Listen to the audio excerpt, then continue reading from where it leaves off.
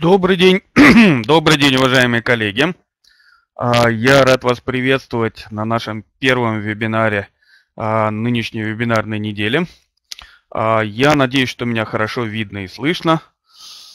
И, как всегда, несколько моих вводных слов до того, как я передам слово сегодняшнему спикеру. В самом начале нашего чата находятся две важные ссылки – первая ссылка ведет на сайт Директ Академии, и э, по этой ссылке вы сможете зарегистрироваться на все вебинары э, вплоть до июня месяца 2018 года.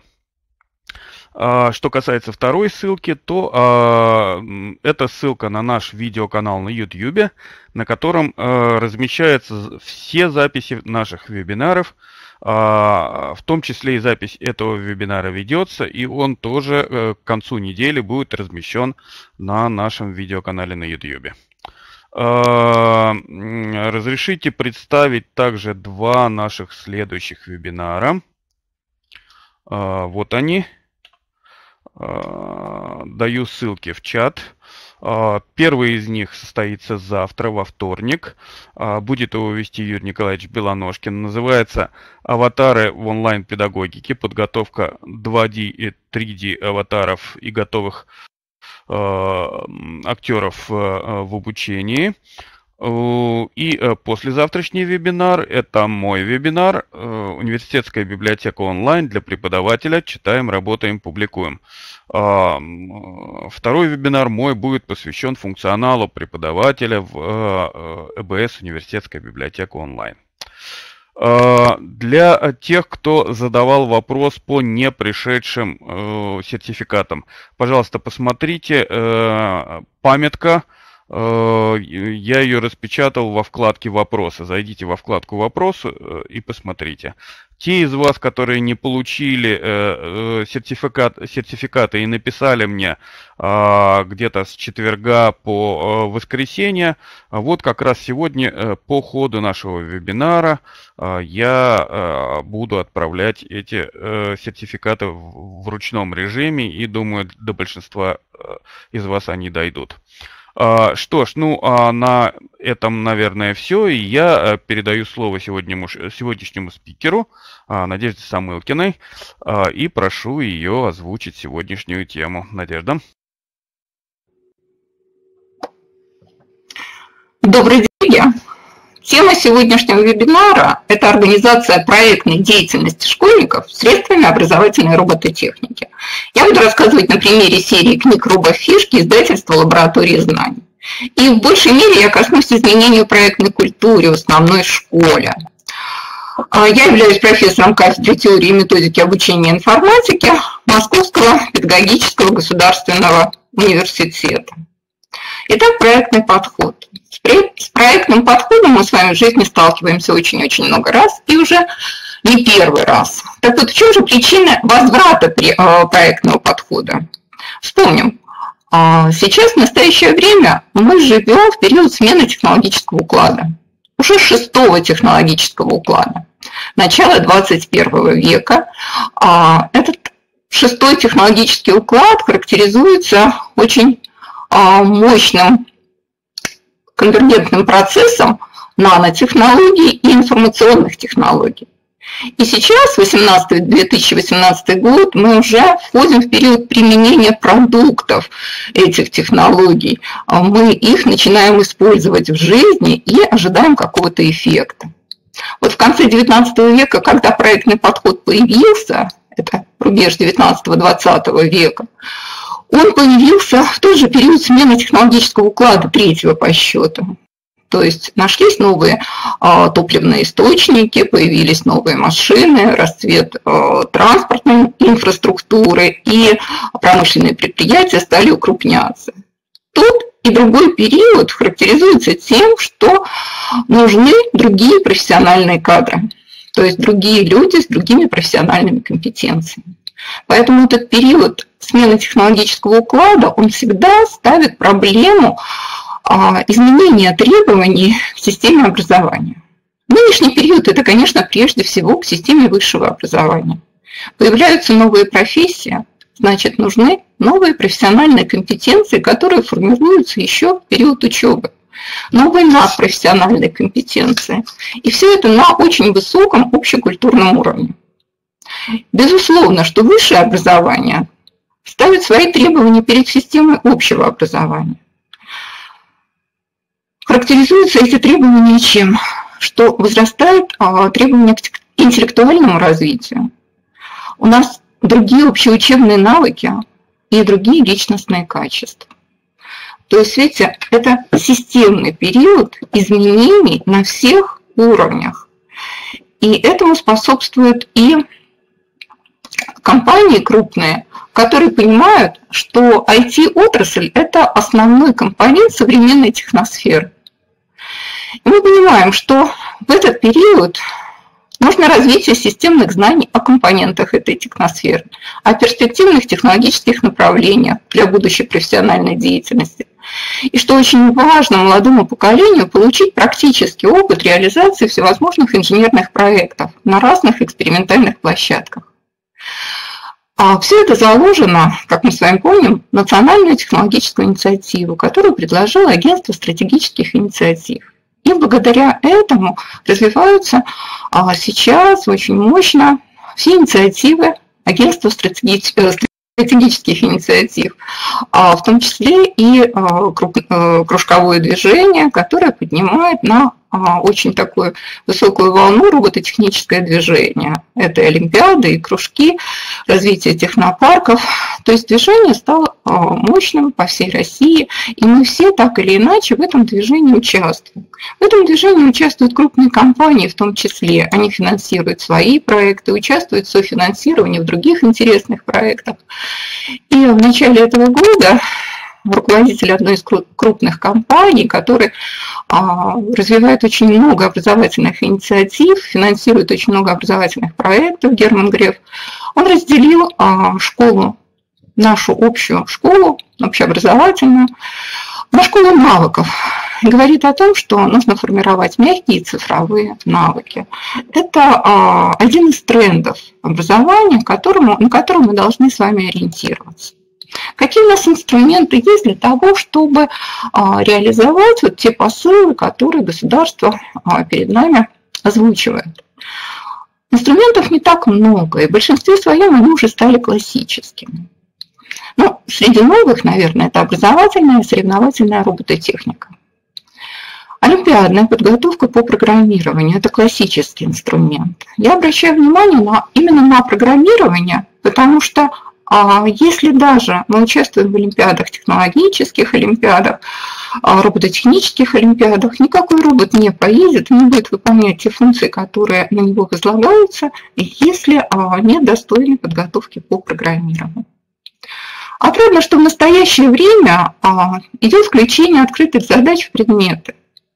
Это все формирует креативное мышление. То есть это тризовские компоненты, они входят в учебный процесс. Мы с вами наблюдаем интеграцию научно-исследовательских и междисциплинарных проектов в образовательных процессах. И все это вместе и чуть-чуть отдельно э, приводит к тому, что идет обновление технологического образования. Это крайне важная задача в эпоху техносферы. Так вот, мы будем говорить сегодня о двух инструментах, об образовательной робототехнике и о проектном подходе. Как оказалось, что вместе, используя а, и тот, и другой инструмент, мы можем получить системный эффект.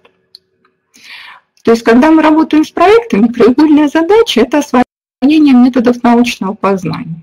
Если при этом мы осваиваем современные технологические инструменты, то эффект от этого, конечно, умножается. Проекты мотивируют творческую инновационную деятельность детей.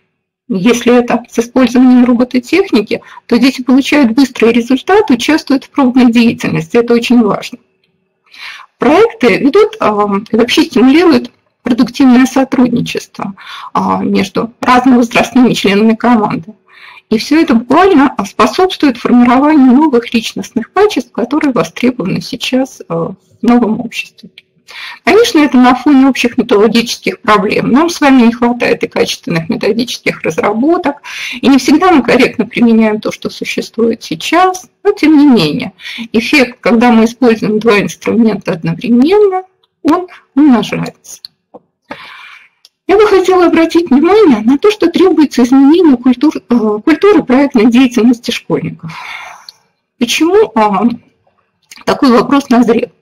Потому что проектов стало очень много в нашей жизни. И, в общем-то, а, каждый понимает под проектом немножечко свое. И это понимание проектов детей, учителей, родителей, оно несколько отличается от проектного подхода в общемировом контексте.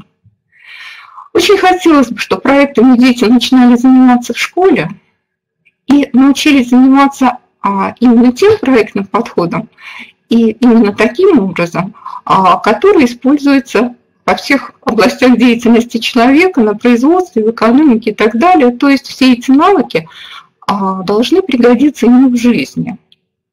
Это иногда не совсем то, что мы делаем в школе. Поэтому изменение культуры проектной деятельности, а, мне кажется, должно идти по трем таким направлениям. Первое направление – это ориентация на общемировые подходы использования проекта. То есть, что под этим подразумевается? Проект – это некий инструмент для получения нужного результата. То есть, продукт проекта – это не результат проекта. Всего лишь инструмент для того, чтобы получить нужный результат. А результат или цели проектирования могут быть очень разными. Все зависит от той деятельности, которой мы с вами занимаемся.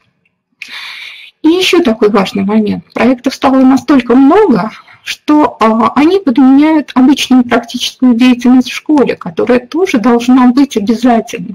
Это разные форматы, практическая, лабораторная работа. Так вот, мы очень часто все это называем теперь проектом. Это не совсем верно. То есть проект не должен заменять систематическое образование. Он должен дополнять его смысловой деятельностью. Чуть попозже мы поговорим еще подробнее. Второе направление – это изменение цели проектирования. Во всем мире популярен подход SMART. То есть мы должны ставить очень конкретные, измеряемые, достижимые в реальное время цели. И для конкретных условий эти цели могут различаться, но они очень конкретные и всегда их можно проверить, их достижения.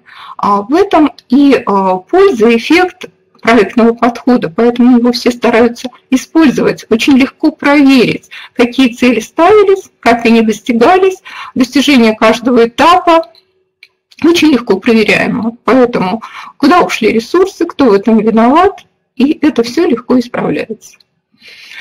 А у нас чаще всего здесь идет подмена этого подхода на копирование дидактических целей и стандартов. То есть нельзя писать результатом проекта научиться тому-то, тому-то. Это не совсем так. Безусловно, дидактических целей мы достигаем, но это не есть результат проекта. Это его, в общем-то, побочный эффект. Далее, изменение целей проектирования – это означает и оценку реалистичности и точек роста проекта. Мы чаще всего, когда ребенок начинает проектную деятельность, не обсуждаем, насколько реалистичен должен быть результат и какие точки роста должен иметь проект. Потому что а, результат проектной деятельности должен быть внедрен тем или иным способом. То есть от него должна быть реальная польза. А, это не всегда видимо ребенку, но а, взрослые, то есть те, кто заинтересован в этой проектной деятельности, должны ребенку в этом помочь. И, конечно, нужно а, помочь сориентироваться по доступности этого проекта для конкретного ребенка или для конкретной проектной команды. Это тоже не всегда делается. Часто очень берут деятели проектной команды недостижимые цели. То есть ну, нереально, например, сделать проект третьекласснику, а, собрать устройство или а, прототип устройства для сборки космического мусора. Ну, не рассчитает он тех параметров нужных устройств, ему просто не хватит знаний по математике, физике для этого. А, но другой какой-то наименее наверное, а, такую глобальную цель или наименее глобальный проект ребенок третьеклассник или команда третьеклассников может достигнуть. Вот это очень важно. Ребенок должен заниматься тем, что ему доступно по его подготовке сейчас в настоящее время. И, конечно, эта подготовка должна увеличиваться, расширяться по мере выполнения проекта, но не сразу на целую ступень. Это, конечно, нереально. Далее. Мы знаем, что в проектной деятельности меняется роль учителя и обучающихся. Это тоже очень важный компонент. А, но мы не всегда адекватно понимаем, что значит меняется роль учителя. И чаще всего как бы а, в стране учитель, мы считаем, должен выполнять консультативные функции. Это не всегда так. Главное, что здесь, что здесь идет освоение приемов управления проектами, и учитель регулирует этот процесс и активно участвует в проектной деятельности. То есть продуктивное взаимодействие – это именно погружение руководителя проекта, учителя, педагога в эту проектную деятельность для того, чтобы самому научиться научить детей приемам управления проектом. Именно это пригодится детям в будущем. Но при этом, разумеется, развиваются личностные качества для успешного ведения проекта в дальнейшем. Давайте вспомним характеристики проектного подхода. Ну, во-первых, это уникальный результат. В результате проекта мы получаем либо материальный, либо информационный продукт, услугу или результат исследования. То есть все это видимые, ощутимые результаты.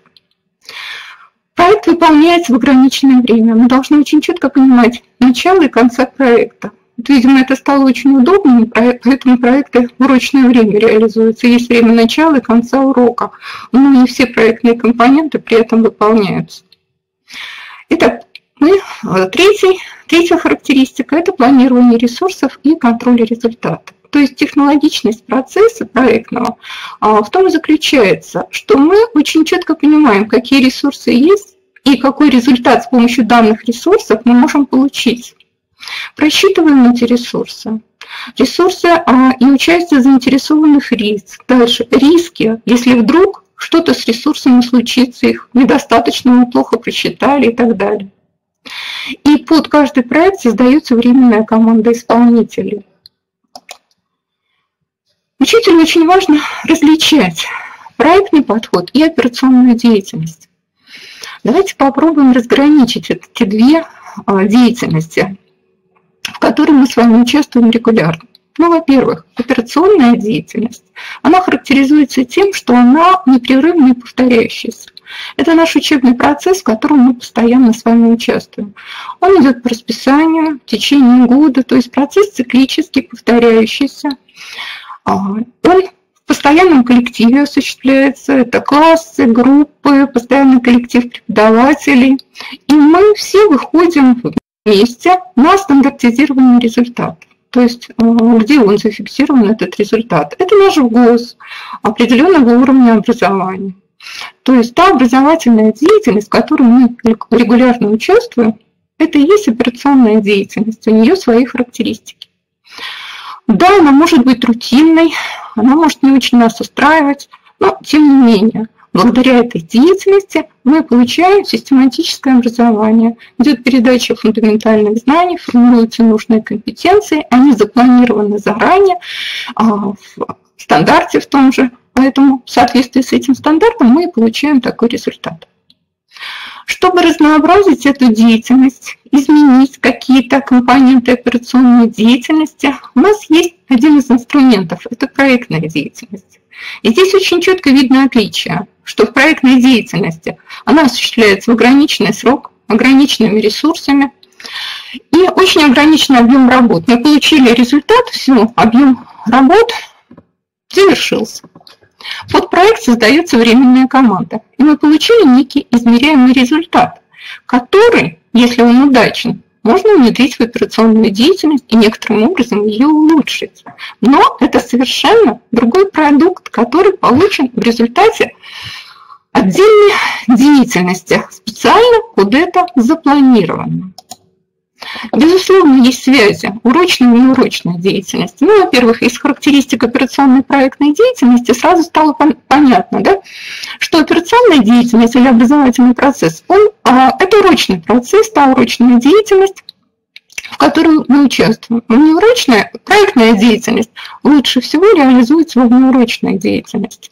Да, возможны варианты внедрения проекта в систематическое образование, но после того, как мы получили результат и действительно внедрение в операционную деятельность нам поможет как-то ее несколько улучшить.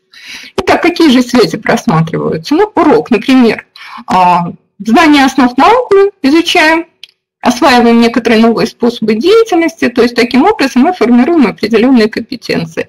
В проектной деятельности то, что ребенок получил в результате вот урочной систематической деятельности, он быстро реализует в результат. Современному ребенку этот результат очень важен, то есть он очень быстро применяет свои знания, которые, умения, которые он получает в систематической учебе. При систематическом образовании он изучает современные достижения науки и технологий через разные предметы. Да? А в проектной деятельности он, реализуя некоторый проект, он получает продукт, который для него является лично значимым. То есть социальная и личная значимость проекта, вот той деятельности, которую он осуществляет, она становится ему близка.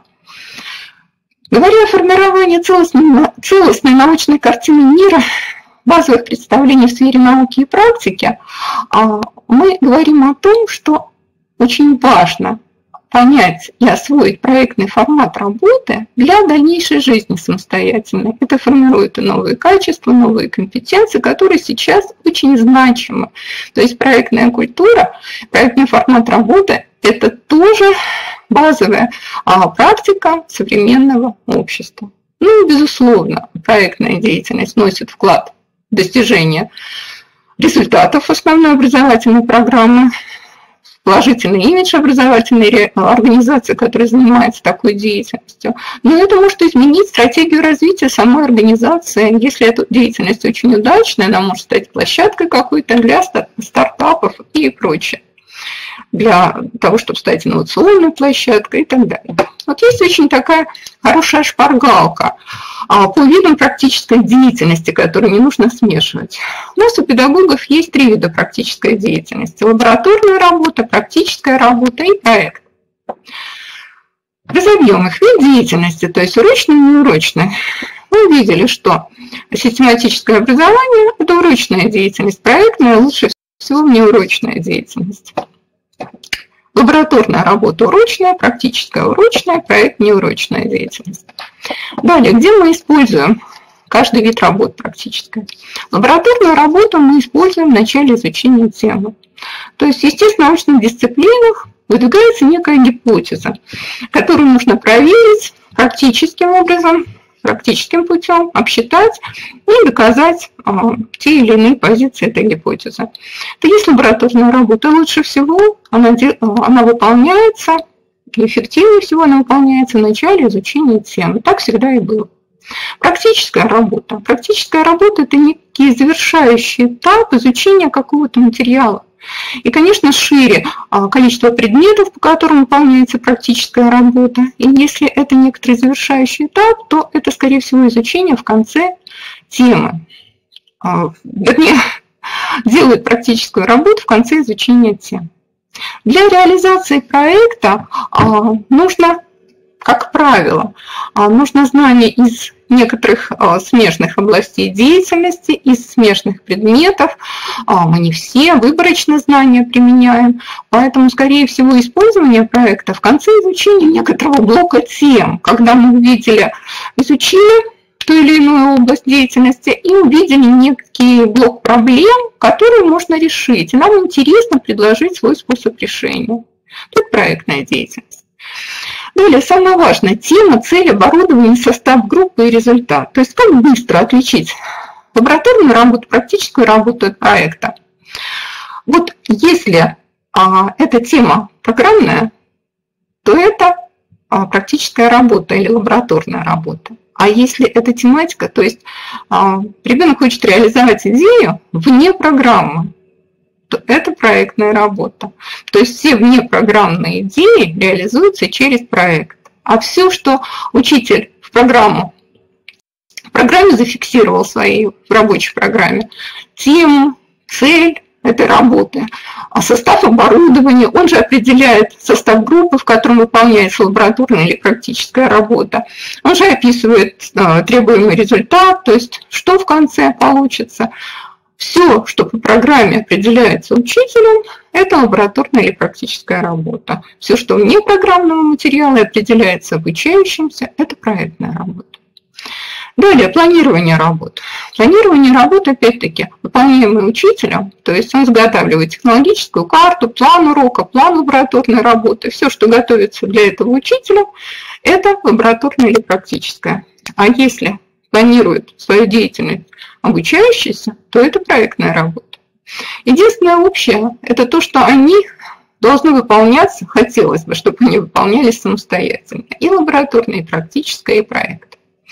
И, конечно, лабораторная практическая не требует презентации результатов, а проект требует презентации результатов обучающихся обязательно. Говорим об этапах образовательного проекта, чтобы понять, какие из этапов западают и где нам нужно обратить на это пристальное внимание. И первый этап – инициирование проекта. Это идея или проблема, которую нужно решить. Вот, и желание получить новый результат или решить какую-то проблему. Это желание либо возникает у ребенка спонтанно, дети очень любопытные, оно может, э, эта идея может возникнуть спонтанно. Либо учитель после изучения определенного блока тем а, инициирует изучение, инициирует проектную тематику, а дети выбирают, что им интересно. И если данный вид деятельности не интересен, то и проект не состоится. Ну, примеры, например, идеи, которые инициируют дети. А, при совместной поездке, например, ребенок увидел две радуги и сообщает, как интересно, а вчера я на этом месте после дождя видел одну.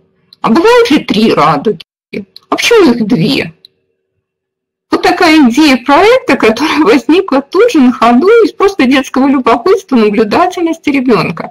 И это удачное проектное исследование, тема проектного исследования начинаем, я не знаю, с пятого класса а, по всей основной школе, потому что глубина исследования может быть разная. И бывают очень хорошие результаты, которые могут конкурировать. То есть тема одна, команд, которые выполняют аналогичный проект, много, но у всех свой результат, который можно сравнивать, обсуждать, оценивать. Вот тогда это конкурс проектов исследовательских. Очень интересно, может состояться.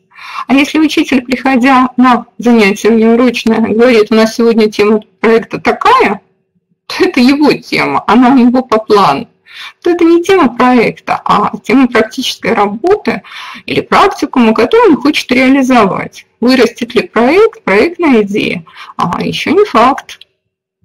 То есть правильное инициирование, а, например, вы изучили тему по биологии, какую-то тему, и а, ну, комнатные растения.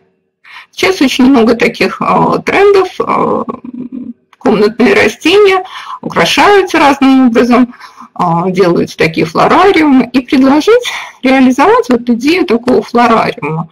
А вот, например, у меня есть комнатные растения, но мне приходится часто уезжать, отсутствовать 2-3 дня. Вот как решить проблему полива? Вот это правильное инициирование. То есть вот есть такие проблемные зоны. Вот именно здесь, вот в этой тематике, в этом направлении. И у ребенка либо рождается идея, либо она не рождается. Далее обязательно нужно обсудить с окружением идею этого проекта. То есть доступна ли она данной возрастной категории. Я уже говорила о том, что ну, невозможно третьекласснику делать проект или прототип искусственного спутника Земли или устройства мощного для сбора космического мусора. Вот это очень аккуратно нужно обсудить. То есть как ребенок прочитает возможности этого устройства, знает ли он настолько хорошо вот эти вот темы по физике, хватает ли ему знаний по математике, чтобы это обсчитать. А иначе он не докажет, что эта идея его, его решение лучше. И делать э, прототип из пенопласта и фольги – это не всегда разумная идея. Да, может быть, для третьеклассника это единственный доступный материал, но, может быть, тогда немножечко изменить идею проектную, сделать устройство а, менее глобального масштаба, и тогда это будет другой проект. Поэтому обязательно нужно обсуждать заинтересованными лицами, а это и учителя, и родители, а в том, насколько удачна проектная идея, прежде чем начинать ее воплощать. Ведь от этого зависит успешность проекта. Далее, описание целей, результатов, условий реализации, этапов и ограничений по времени а, – это все входит в этап планирования. И очень часто мы сейчас вот западаем именно в описание целей, результатов, условий реализации, как мы будем планировать ресурсы, какие у нас есть риски и ограничения при реализации проектов. А у нас а, из естественно-научного образования выпал такой блок а, практикумов или научно-исследовательских практик школы, и мы разучились адекватно это делать на школьном уровне. Поэтому, когда уже описание проектов, то, конечно, видишь эти пробелы. Пока еще пробелы присутствуют, но работа в этом направлении уже началась. И ребенок самостоятельно не может проанализировать все ресурсы. Это нужно делать обязательно с участием заинтересованных лиц, определять их э, зону участия. Заинтересованные лица – это и педагоги, и родители, которые участвуют в реализации проекта, но не выполняют его. То есть их помощь может быть разная. Они участвуют финансово, а, ресурсами, закупая необходимое, необходимое для проекта оборудование, возможно, еще какое-то участие в рекламе, в продвижении этого проекта, в подготовке к конкурсу, но ни в коем случае за детей не выполняют этот проект. То есть к утру сделать проект для родителей, конечно, реально, но это не есть проектная работа. Исполнение, непосредственно реализация всех этапов проекта, корректировка этапов, изменение ролей по необходимости. Именно при исполнении учитель координирует роль каждого и а, выделяет те необходимые личностные качества, которые помогут расти ребенку в проектной деятельности. Мы потихонечку от исполнителя проекта ребенка должны вырастить а, будущего руководителя проекта. Это очень важно. И, конечно, роль учителя в этом наипервейшая роль. Далее, осваивая проектный подход, мы должны понимать, в чем его преимущество, что на каждом этапе мы можем понять причины исполнения, неисполнения этого проекта, этого этапа проекта в конечном итоге и а, качество самого проекта. Этим он привлекателен. Мы контролируем каждый этап. Это называется мониторингом, да? И знаем, почему он удачный, почему неудачный, кто виноват и кто молодец. Вот этому тоже надо учить. Видеть задачу по частям, видеть проблемы, пути их разрешения. Очень важное, хорошее качество. И, конечно, завершение проекта. Не всегда проект успешно завершается. Иногда, если мы неправильно оценили ресурсы, а, ну, так же, как у нас компьютер зависает, проект может зависать. Это наша проблема. Найти причины зависания проекта тоже очень важно. Мы не очень хорошо оценили ресурсы. Далее, он может, два проекта могут слиться в один проект. Это тоже завершающий этап. Так получилось. Мы не увидели два разных проекта, ну, две разные проектные идеи, так оказывается, одна, и получили, что одна из идей – это просто этап другого большого проекта. Это тоже надо понимать. То есть не каждый проект самостоятельно завершается успешным его выполнением. И, конечно, надо всегда понимать, что проектный подход – это просто инструмент, очень современный технологичный инструмент для достижения результата. Итак, еще раз, какие из этапов образовательного проекта западают в основной школе? Идея проекта просто часто навязывается детям. Надо научиться ее инициировать. То есть не собрать робота, а решить проблему с его помощью. Например, утилизация космического мусора, прохождение болот и так далее. К сожалению, не всегда обсуждается реалистичность идеи и возможность ее воплощения имеющимися ресурсами. Именно в этом залог. И вместо описания результата и цели в соответствии с подходом SMART списываются шаблоны дидактические цели из ВГОС.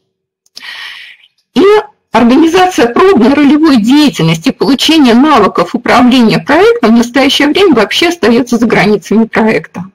А это нужно именно для того, чтобы научиться проектной деятельности, воспитать необходимые качества. И используемые критерии оценивания проектов у нас часто не формализованы и не обсуждаются с участниками заранее. Это очень странно. На соревнованиях тоже так же происходит. То есть дети, выполняя проект, не зная критериев его качества. Это тоже проблемная зона, которая нуждается в решении. Поговорим о видах проектов образовательных, а, которые чаще всего школьники реализуют. И надо понимать, что здесь робот – инструмент для проекта. То есть, собрав робота, мы а, собрали некоторый продукт, который будет участвовать в реализации проекта. Собранный робот – это не результат проекта. Это продукт проектной деятельности или инструмент для реализации проекта.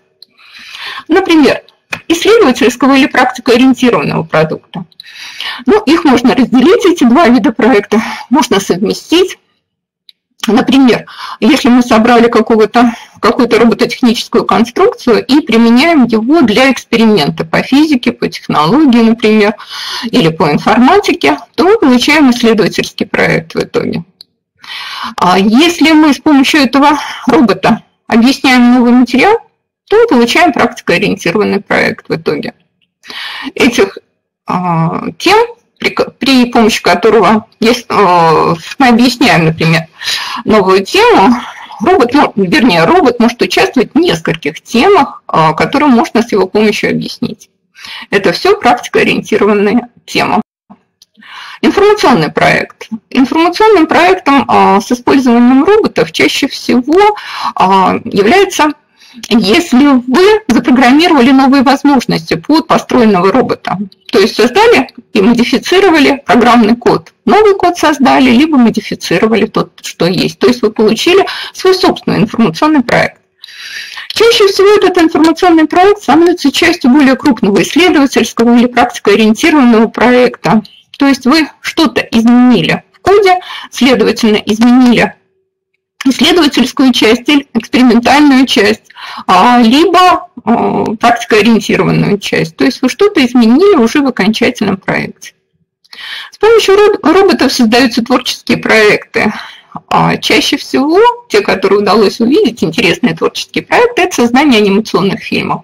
То есть если есть некоторые герои, написан сценарий, героев вы собрали с помощью робота а, в начальной школе, на виду, например, очень много можно сделать творческих проектов, заснять их, это а, и есть анимация, то есть завершающий а, мультфильм, это и есть результат проектной деятельности или творческий проект. Очень много можно создать игровых или досуговых проектов для проведения игр. А, иногда в игровой форме можно объяснить а, материал, то есть получается интеграция практикоориентированного а, проекта и игрового проекта. Это очень интересно детям.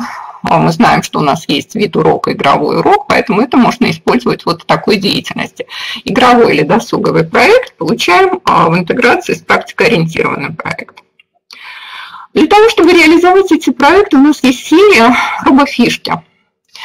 А робофишки очень многогранная серия. Ну, сначала мы начинаем с роботов Лего. EV3. Да, есть уже в заготовке и виду, проекты на виду, но а, сейчас очень популярно именно на EV3. Начали мы с а, тайного кода с Мюэлем Морзе, а, вот этот вот проект. А, ну и дальше пошло крутое пике, человек всему мира, а, волшебная палочка. Что это за проект и какую идею мы закладывали при создании вот этой вот серии? Ну, во-первых, серия – это совершенно молодые авторы, а, новые авторы. А, начали они еще в студенческой деятельности эту серию. Она стала очень удачной, всем понравилась. Сейчас стала популярной. Итак, в чем идея? А, когда мы берем а, тот или иной проект из серии робофишки, мы получаем полностью а, подготовку к проектной деятельности вместе с ребенком. Мы готовим ребенка к этой деятельности. Ну, например, тайный код Сэмюэля Морза. Здесь полностью мы прошли все этапы проектной деятельности. С чего мы начинаем? Ну, во-первых, история телеграфа. Понятно, что исторический контекст, то есть тот мотивационный фактор, который затягивает ребенка а, в этот проект или а, этап инициализации проекта, он очень важный. В каком контексте мы его затягиваем вот в эту историю проектную? И, конечно, история телеграфа в ЛИТе очень интересна. История телеграфа может интегрироваться с многими предметами. Ну, во-первых, сама история, во-вторых, это физика, а в-третьих, технология. То есть телеграф – это некий такой некое открытие, изобретение, которое очень сильно изменило а, мир. И его изобретение, оно входит вообще в третью информационную революцию. Поэтому и информатика сюда же подключается. А, очень много межпредметных связей, которые реализуются при изучении вот исторической части этого вопроса. Далее. Далее теоретическая часть, то есть что важного из теории, какое новое знание ребенок получает он изучает способы кодирования, которые предложил Самюэль Морзе. То есть вот первый этап. Из истории, сами того не заметив, мы перетекаем в изучение теоретической части. Способы кодирования предложены Самуэлем Морзе. Изучили способы кодирования, все это очень быстро, динамики очень подробно и понятно. Начинается второй этап – сборки кнопочного звукового передатчика – то есть, что мы здесь делаем? Раз есть такой код, с помощью которого мы его изучили, теперь надо попробовать. А как попробовать? Вот у нас есть некоторый конструктор, из которого мы этот передатчик можем собрать. Что нам нужно будет для этого? Вот выделены детали для сборки. И тут же их располагаем эти детали. Находим в конструкторе эти детали и начинаем работу. Дальше, этап третий, а, это полностью сборка этого передатчика по шагам. То есть это не проект по шагам. Проект получится у нас творческий или игровой. Мы собираем инструмент для проекта пошагово. Что при этом получается? Мы осваиваем конструктор. Даже тот, кто а, имеет впервые дело с этим конструктором, а, потихонечку пошагово он учится с ним работать. Вот, детали для сборки. То есть мы ориентированы на то, что ребенок, например, в пятом классе самостоятельно этот проект может сделать. И поэтому все очень-очень а, подробно расписали по шагам. Мы собрали этот передатчик. Вот результат сборки этого передатчика. И этап четвертый но чтобы он стал передатчиком, вот есть замечательная кнопочка, подставка, а, все очень удобно для работы, да? но чтобы мы использовали его для работы, нам нужно написать программу. Объясняем. Общий вид программы, очень простенькая программа. И смотрите, начинает ребенок программировать а, графическими средствами на графических языках. Очень просто, он не ошибется в коде программы, в операторе и так далее. А, Все в графическом виде изображено, все понятно. То есть интуитивно понятный интерфейс вот этой вот программы. Общий вид показываем и а, поэтапно дальше пишем эту программу. Опять-таки ребенок пошаговая инструкция выполняя, учится программировать на графическом языке. Далее, распределяем роли. Вот здесь как раз и пробная деятельность, пробная ролевая деятельность. А в данном проекте шифровальщик, телеграфист, стенографист и дешифровальщик. Вот сколько ролей. Все это исполнительские роли, безусловно. То есть сначала в проектной команде учитель, как руководитель и менеджер проекта, это две, эти две функции он выполняет, совмещает, вернее, в себе.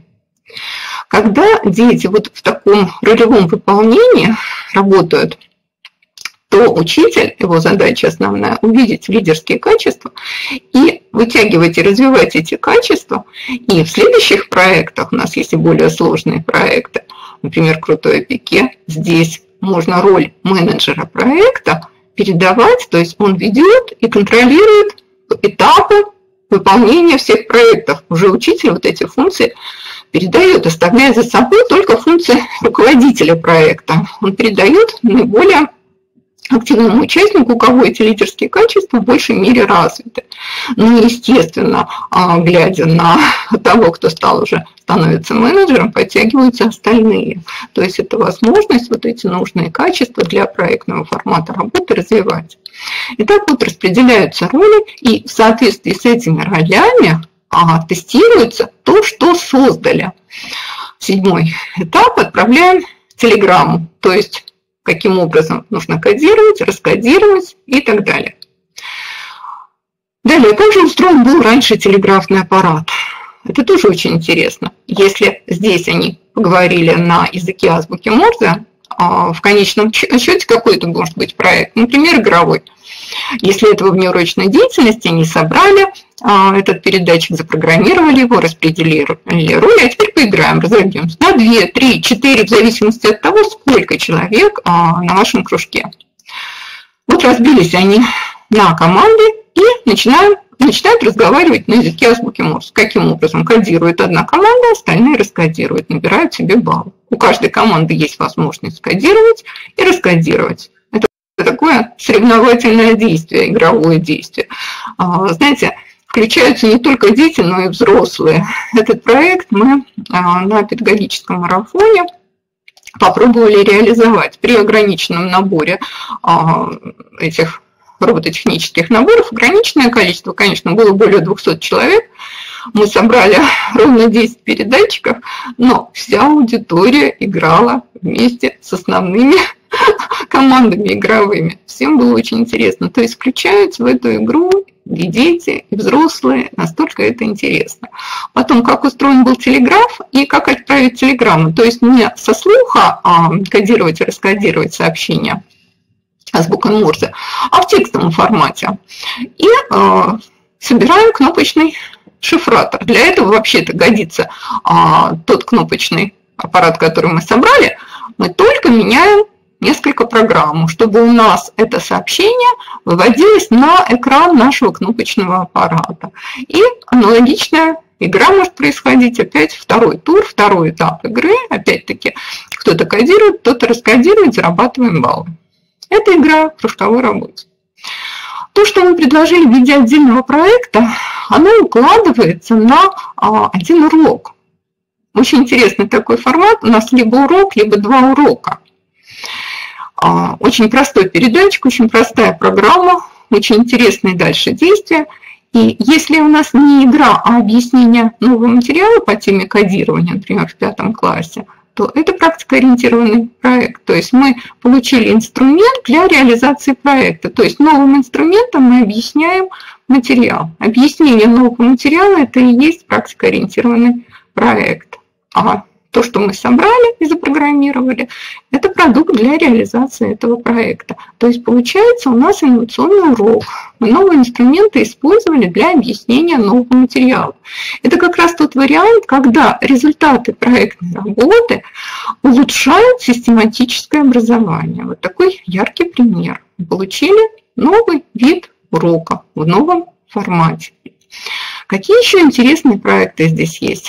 Ну, например, а, сам себе человек всему например. Это математика и информатика. То есть математика вынуждена подтягиваться здесь, потому что очень часто в наших проектах есть вычислительная составляющая. И для этих целей нужно знание математики. И она не сама по себе, а вот как бы встраивается в тот процесс естественной проектной деятельности, когда вот нужно что-то посчитать. И иногда нетривиальные вещи нужно посчитать.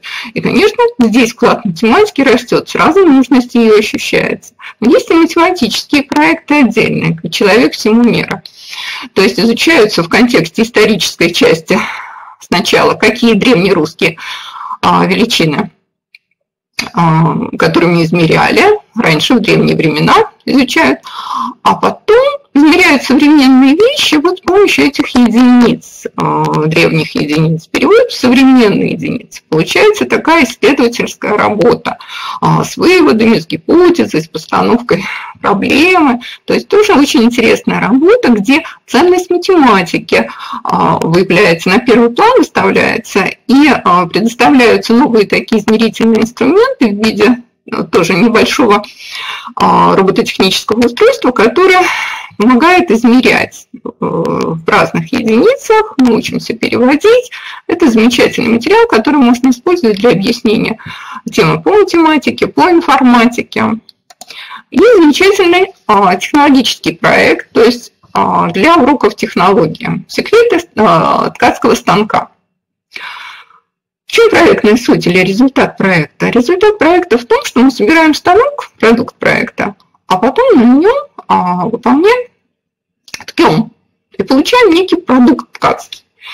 Это может быть эмблемка, фенечка призовая такая, а вот еще что-то такое призовое, ленточка. Во-первых, очень интересно. Изучается устройство а, станка, то есть какие станки были, когда они изобретены были. Такой очень мощный, интересный а, исторический контекст. Дальше рассматривается, а, когда они стали автоматизированы. А теперь из робота, из EV3 конструктора Лего, мы собираем вот такой ткацкий станок. Видно здесь ткацкий станок, он действительно похож, все элементы ткацкого станка здесь есть.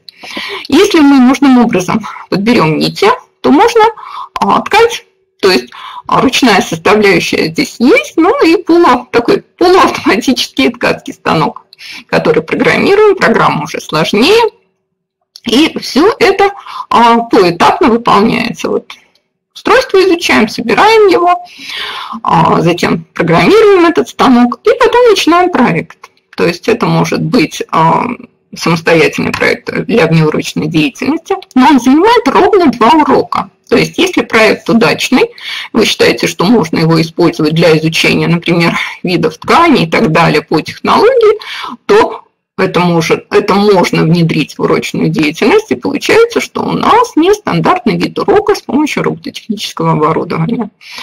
Детям очень нравится, и взрослым, и студентам очень нравится собирать этот ткацкий станок и получать реальный а, ткацкий продукт именно на нем. Далее, помимо Lego V3, а, в серию робофишки с множеством разных проектов входит, ну, суть проектной работы с помощью робофишек, я надеюсь, а, стала понятной. То есть это исторический контекст, новый материал, который изучается, поэтапная сборка конструкции, далее программирование поэтапное, пошаговое, а, и далее выполнение самого проекта с помощью того инструмента, который мы собрали. А, полностью вот все эти виды проектов мы расписали. А, далее, есть у компании Robo а, на основе платы Arduino, в основе лежит он в корпусе, на колесиках, и такая замечательная а, лаборатория, которая, с помощью которой можно переходить на более совершенную робототехнику уже для старшеклассников. Если Лего – это 5-7 класс, дальше им будет скучновато.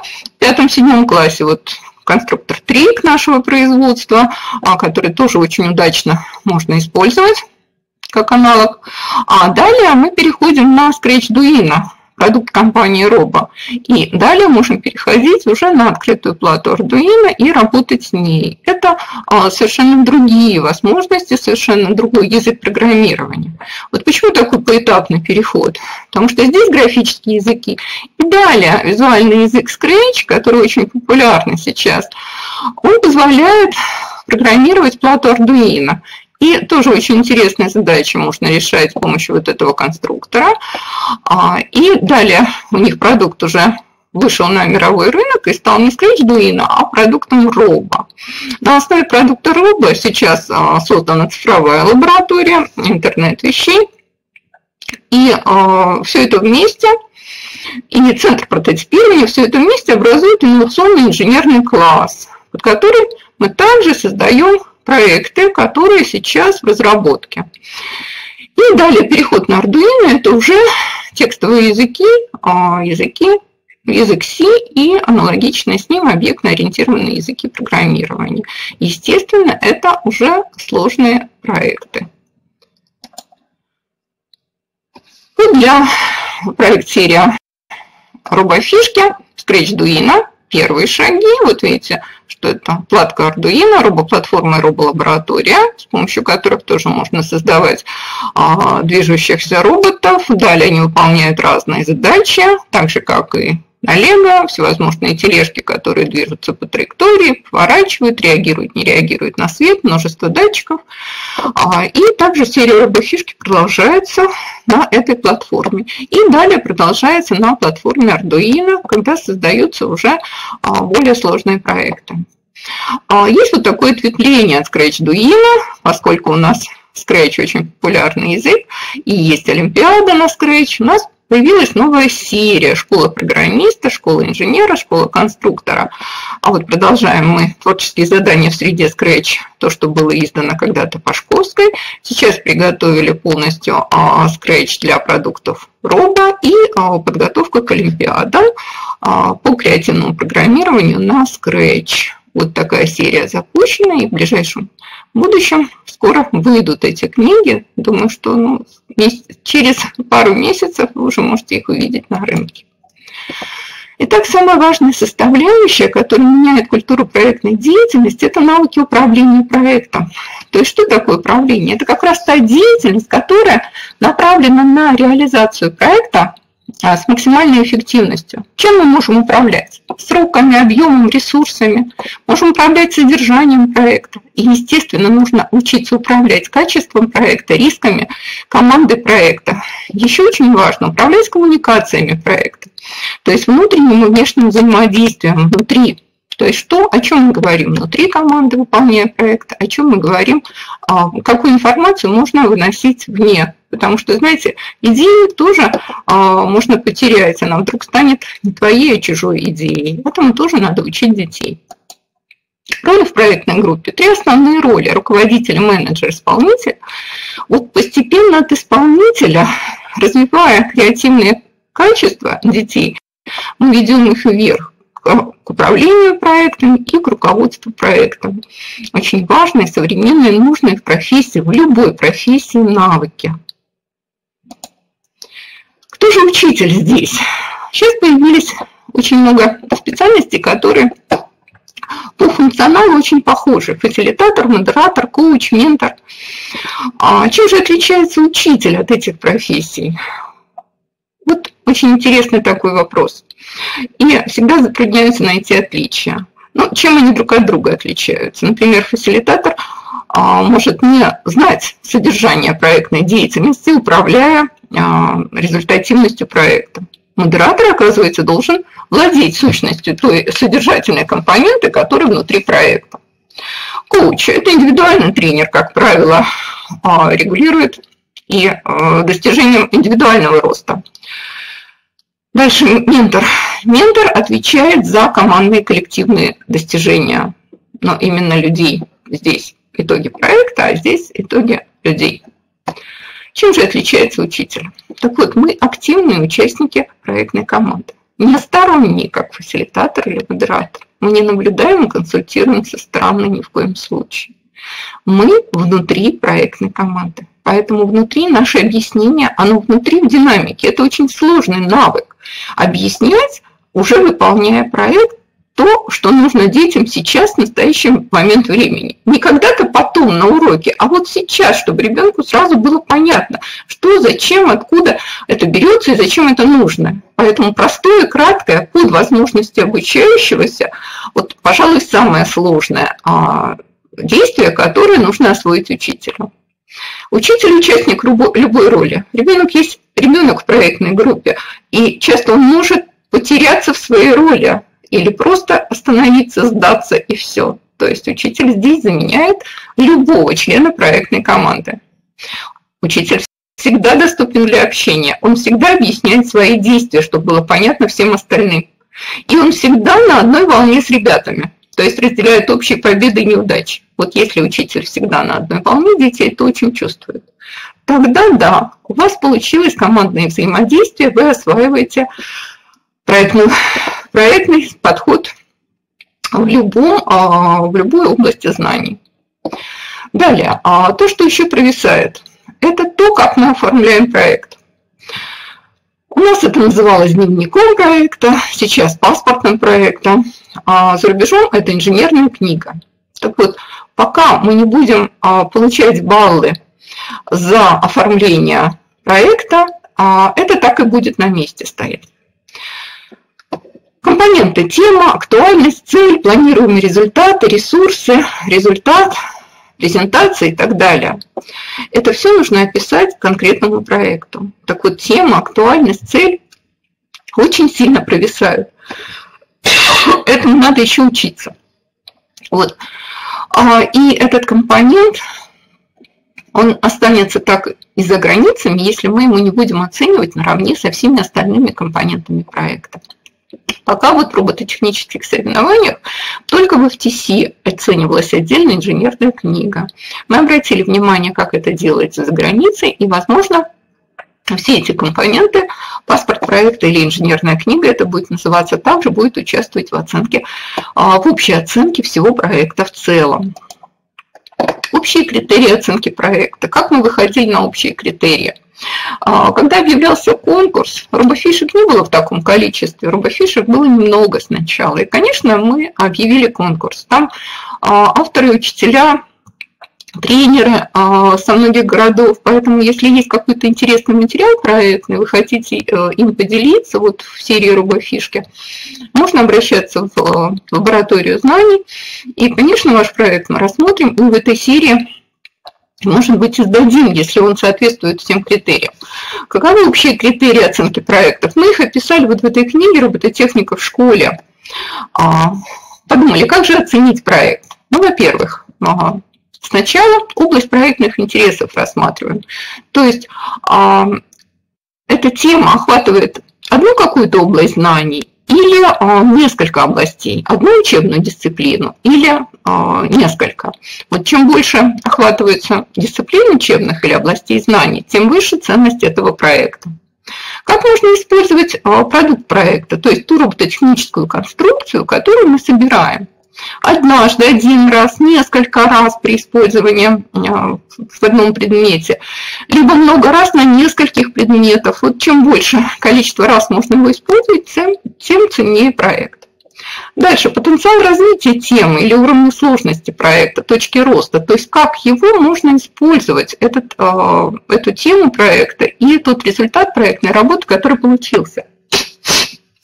Вот если этих тем много, то есть это не уникальная одна тема одного учебного проекта, а их много, то есть становится проект универсальным, интегрированным, охватывает несколько учебных тем, можно использовать в течение учебного года или ряда лет, ценность очень высокая.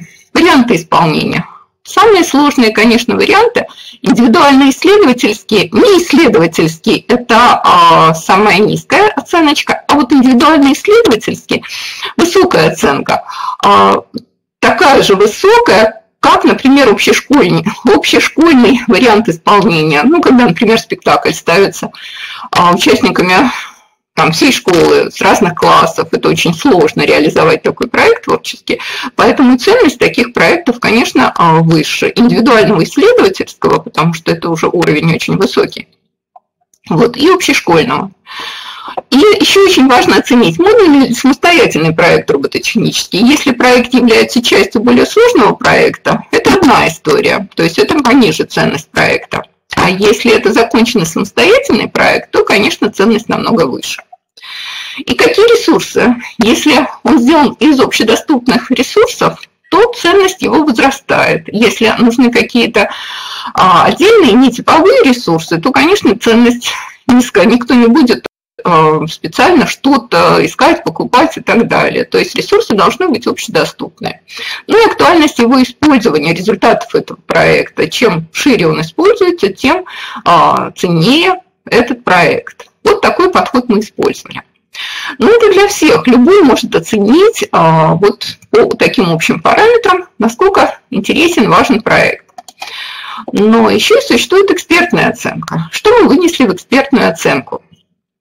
Мы а, вынесли в экспертную оценочку такие этапы. Ну, во-первых, мы соединили объект оценки с этапами проекта. У нас тема – это этап инициирования проекта. Сюда входит актуальность, темы проекта, важность проблематики, реалистичность результата, а, то есть насколько оптимальное предложено решение, его использование, точки роста этого проекта.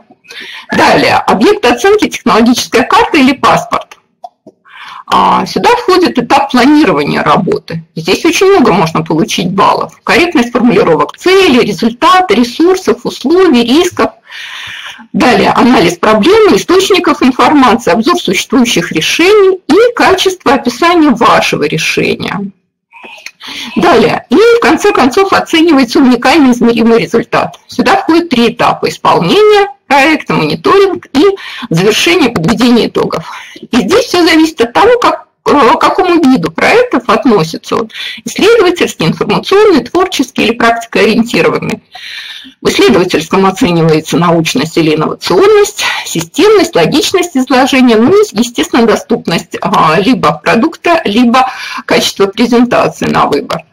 А в информационном процессе если он связан с кодом, то это сложность алгоритма, доступность программного обеспечения, в котором это реализовано, тиражируемость, качество презентации.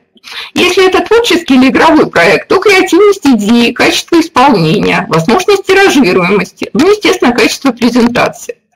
В практикоориентированном проекте уникальность результата, его измеряемость, легкость использования и качество презентации. То есть вот такие а, критерии можно взять для экспертного оценивания проекта. А, мы также создали МК по технологии, который апробируется и в котором робототехника и а, наша проект-серия «Робофишка» входит в окружение для проектной работы а, по модулям 17-часовым. Внутри в урочную деятельность также встроены проекты а, на, с помощью использования конструктора TRIC. То есть мы используем э, всю э, линейку тех э, платформ робототехнических, которые у нас в России используются. То есть можно на трике все это делать, можно брать окружение а, на Lego EV3, на Scratch Duino, то есть вот все эти продукты а, можно реализовывать в технологии, например. Часть идет апробация в трех регионах, уже помимо Новосибирской области, Пермский край и Московской области, некоторые школы.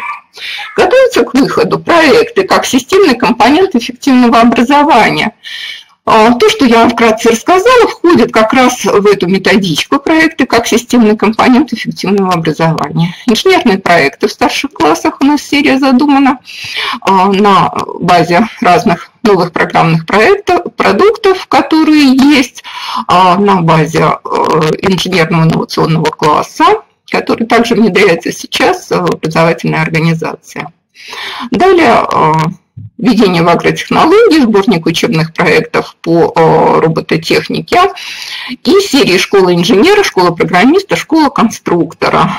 Вот то, что я тоже рассказала, э, первый к выходу готовится, это программирование на Scratch от начинающего к опытному пользователю и подготовка к креативному программированию к Олимпиадам. Вот полностью сделали методическое обеспечение соревнований в ТС. Очень интересная книжечка получилась. На соревнованиях она выдается. Это тема проектов для инженерных классов, которые запускаются как раз э, в формате компетенции Junior Skills и в формате исследовательских проектов в направлениях НТИ ОСИ. И, конечно, я приглашаю заинтересованных учителей к нам на курсы повышения квалификации. Наш курс в математическом факультете называется «Проектный подход к организации внеурочной деятельности в основной школе с использованием робототехнических конструкторов». Здесь мы рассматриваем а, все существующие платформы, которые у нас есть, а, и Лего, а, и инженерные инновационные классы РОБО, и, конечно, проектный подход, то есть э, полностью, э, что это за проектный подход, как актуализировать все компоненты деятельности при проектном подходе, то, что сейчас важно, актуально для учителей, для детей. Пожалуйста, приглашаем вас к нам, а, и вы получите э, свидетельство о повышении квалификации, это 72 часа, МПГУ, то есть Московского педагогического государственного университета. Спасибо вам за внимание. Я готова ответить на ваши вопросы, если они есть. А, да, презентацию я сделала общедоступной, вы ее сможете взять. Оборудование для Scratch Duino как раз оборудование компании Robo инженерный класс. А, в поисковике можете забить Вики Роба, и вы выйдете сразу на а, презентацию инженерного инновационного класса. У нас сейчас на Викироба проходят вебинары для интересующихся. Я уже прочла там вебинар э, инновационной практики. Посмотрите. Сетевое взаимодействие. Очень интересно. А, с компанией Руба Э, как раз как реализовывать сетевые проекты и повышение квалификации.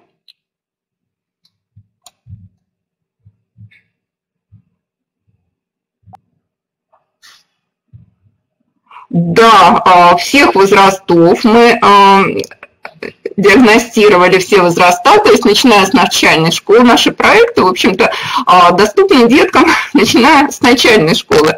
Они все очень любопытные, креативные детки, поэтому очень легко а, в те проекты, которые у нас для пятых-шестых классов, они могут использоваться даже чуть раньше, самостоятельно. Ну, естественно, учитель, который никогда с этим не работал, точно так же а, может взять и полностью пошагово сделать все, что мы описали в проекте, у нас ведь двойная задача – обучить проектной деятельности а, научить этой деятельности, научиться работать с этим конструктором и научиться программировать. Она вот такая многогранная задача ставилась, когда а, эта серия готовилась к выходу. И я считаю, что задачу мы, в общем-то, успешно решили. И из этой задачи, из успешного решения вытекли другие интересные задачи, которые мы сейчас реализовываем. Я надеюсь, что это будет интересно вам.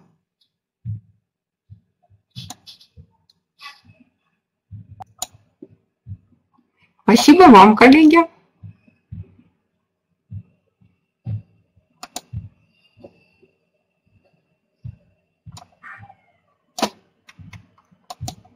Ну, я смотрю, вопросов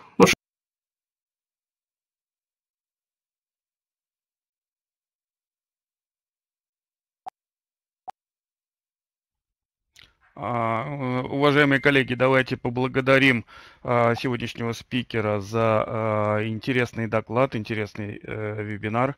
Вам всем спасибо, что вы пришли и активно участвовали в вебинаре. Приходите в наши, э, на вебинары Директ Академии, будет интересно. Вебинары мы проводим каждый день в 12 часов по московскому времени. Еще раз всем спасибо и до свидания.